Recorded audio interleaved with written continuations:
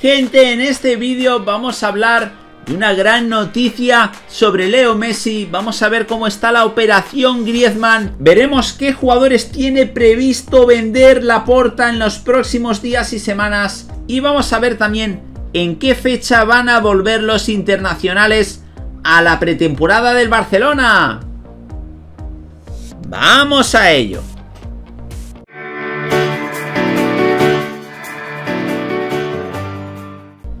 Hola de nuevo gente, ¿cómo estáis? Bienvenidos de nuevo a otro vídeo para el canal. Vamos a analizar la última hora del Fútbol Club Barcelona y vamos a hacerlo con varias noticias. Por tanto, te animamos a que te quedes hasta el final del vídeo, a que nos dejes un buen like y a que le deis a la campanita de notificaciones.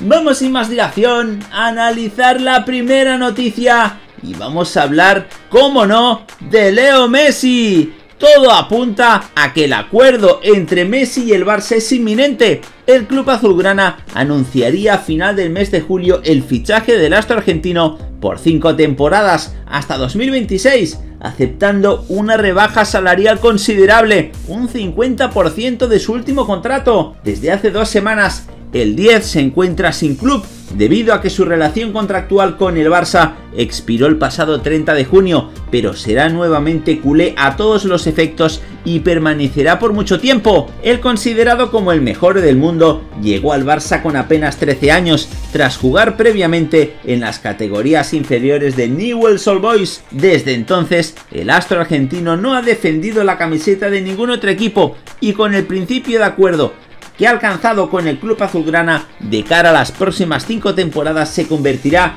en un One Club Men. Por consiguiente, Leo Messi podrá alcanzar 22 temporadas jugando con el cuadro azulgrana. Su debut sucedió el 16 de octubre de 2004 ante el Real Club Deportivo Español y desde entonces no ha hecho más que agrandar su figura hasta alcanzar el Olimpo del fútbol mundial. En caso de cumplir su nuevo contrato, Messi jugaría con el club azulgrana hasta los 39 años recién cumplidos y seguiría rompiendo todos los récords que ya ostenta. Messi se convertiría en el jugador con más partidos en la historia del Barça, 778, con más goles, 672, y más títulos, 35, además de ser el único jugador que ha ganado 6 balones de oro, camino del séptimo, la misma cantidad que las botas de oro conseguidas y un sinfín de récords que no acabaríamos de mencionar. De cumplir los 5 años de contrato, Messi alcanzaría las 22 temporadas como jugador del Barça con 39 años, una cifra que han alcanzado pocos jugadores en toda la historia del Barça. El único futbolista que se acerca a dicha marca vistiendo solo los colores azulgranas es Carles Puyol, que defendió el escudo del Barça durante 15 temporadas. Si se visualiza la primera línea del fútbol mundial, se encuentran auténticas leyendas como Paolo Maldini, figura histórica en el Milán por 25 temporadas, así como Francesco Totti que lo hizo en 24 en la Roma, Ryan Giggs 23 con el Manchester United o Tony Adams 22 en el Arsenal. Pese a no alcanzar las temporadas de Maldini, Totti o Giggs, el astro argentino puede entrar en el podio de los jugadores que en más oportunidades ha vestido la camiseta de un club. Suma 778, únicamente superado por Totti, 786, Bill McNally, 822, Maldini 902 y Giggs 963. En la próxima campaña podría colgarse la medalla de bronce al superar al delantero italiano y al defensa escocés. Parece quedar lejos aún del central italiano y del centrocampista galés, pero definitivamente la palabra imposible no figura en el diccionario de un Leo Messi que será, como decimos, One Club Man.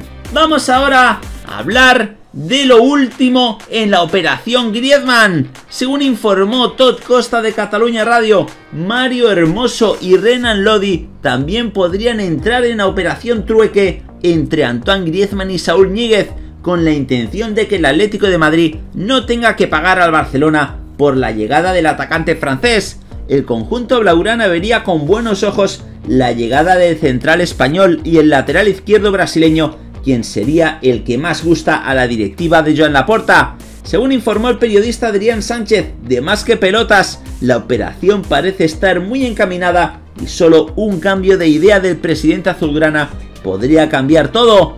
Los motivos del conjunto azulgrana para fichar a ambos jugadores los han publicado Mundo Deportivo. Por una parte, a Mario Hermoso lo quiere Kuman como central zurdo para la próxima temporada, más ante las posibles salidas del Engleti y Tití. Hermoso viene de firmar una gran temporada en el conjunto colchonero, siendo una pieza fundamental en el sistema de tres centrales que utilizó Diego Pablo Simeone. Tiene buen pase para iniciar la jugada, buena defensa a campo abierto y tiene un pase largo impresionante, lo que le puede agregar variantes al estilo de juego del entrenador neerlandés. Por otra parte está Renan Lodi. Ronald Koeman quiere que Jordi Alba tenga competencia para el lateral izquierdo, aunque el brasileño sigue estando lejos de ese nivel. Renan Lodi es un futbolista que destaca por su capacidad para atacar y centrar, donde tiene buen pie para marcar la diferencia en el último tramo de la cancha. Es rápido y sabe presionar, aunque deja muchas dudas en el trabajo sin pelota.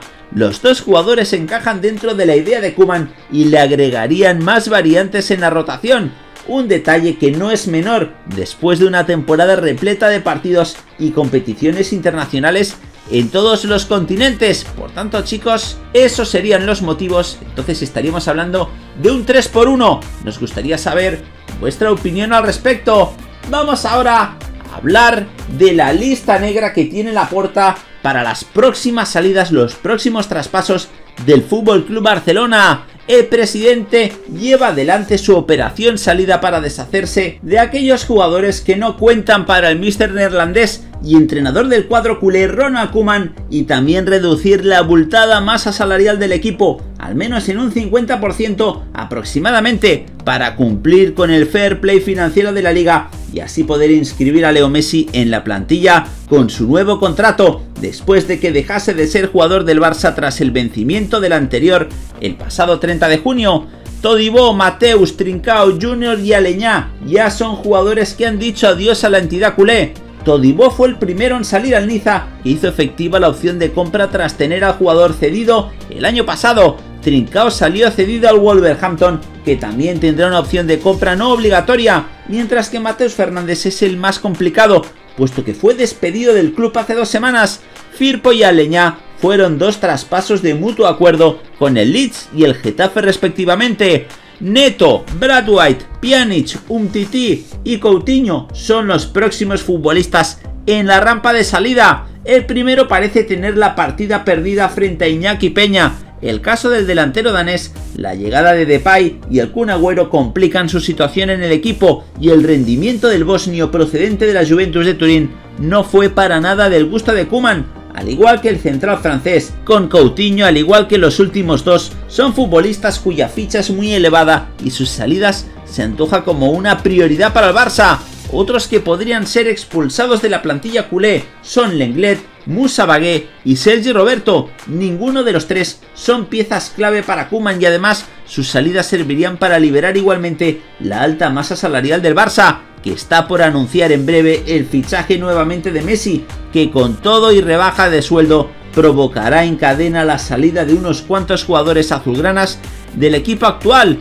El diario Mundo Deportivo ha avanzado la información de que un posible trueque entre los colchoneros y culés con Saúl Níguez y Griezmann como involucrados va agarrando forma. Como le hemos dicho, esa opción le daría a la porta la vía para salir de uno de los futbolistas más cuestionados en la ciudad condal en los últimos tiempos. El delantero francés tiene una ficha de más de 30 millones de euros y eso supone un quebradero de cabeza para todos los directivos. Por tanto, chicos, estas serían las próximas salidas en el Barça.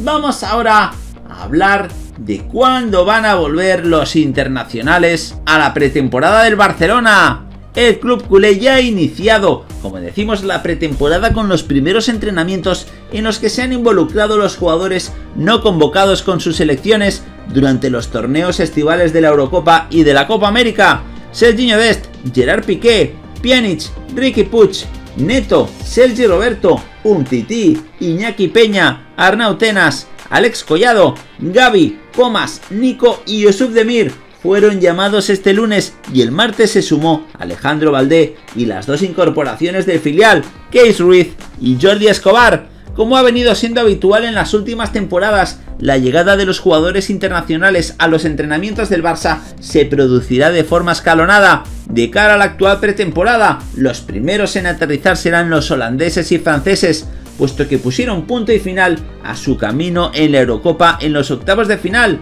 Así pues, De Jong, Memphis Depay, Clement Lenglet y Antoine Griezmann se unirán al equipo a principios de la próxima semana. De esta manera el club azulgrana aprovechará la llegada de Depay, flamante fichaje culé, para presentarlo oficialmente como nuevo jugador de cara a la próxima temporada. Entre tanto la situación de Dembélé es distinta, pues se abandonó la concentración con la selección de Francia antes de tiempo por una lesión en el muslo derecho que le obligó a pasar por el quirófano. Dicha situación mantendrá al delantero alejado de los campos aproximadamente por cuatro meses. Jordi Alba y Sergio Busquets del combinado español, así como el danés Martin Bradway, a la espera de resolver su futuro, aterrizarán en Barcelona para pasar las pertinentes pruebas médicas en la última semana de julio y reincorporarse con el grupo coincidiendo con el stage que realizará el Barça en Alemania, donde disputará su tercer amistoso ante el Stuttgart el 31 de julio. Los argentinos y brasileños serán los últimos en regresar, así como los futbolistas que participarán en los Juegos Olímpicos. Messi, Agüero y Emerson están llamados a principios de agosto, mientras que Eric García, Oscar Mingueza y Pedri González que irán a Tokio se unirán al equipo azulgrana conforme a la participación de España en la cita olímpica. Por tanto, chicos, así está la situación del Barça. Nos gustaría saber vuestra opinión al respecto de cualquiera de estas noticias y que por favor nos la dejéis en los comentarios justo debajo de este vídeo. Nada más por el momento, como siempre animaros a que os suscribáis al canal para seguir viendo todos nuestros vídeos.